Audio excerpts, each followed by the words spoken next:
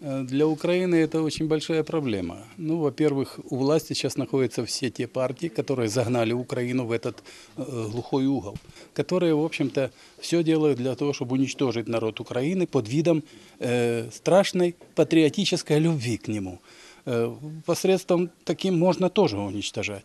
Поэтому среди этих политиков ну, нет достойного человека, тем более здравомыслящего. Вот уж важно, здравомыслящего.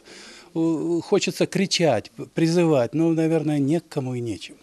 Поэтому на фоне этого всего, естественно, один единственный человек, это э, Виктор Медведчук, способен реально решать какие-то насущные проблемы страны и украинцев.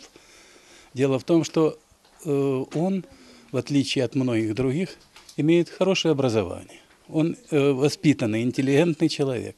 Он лишен эмоционального восприятия всех тех процессов, которые происходят в мире. Ибо эмоции – это самое плохое, что может э, э, быть у политика.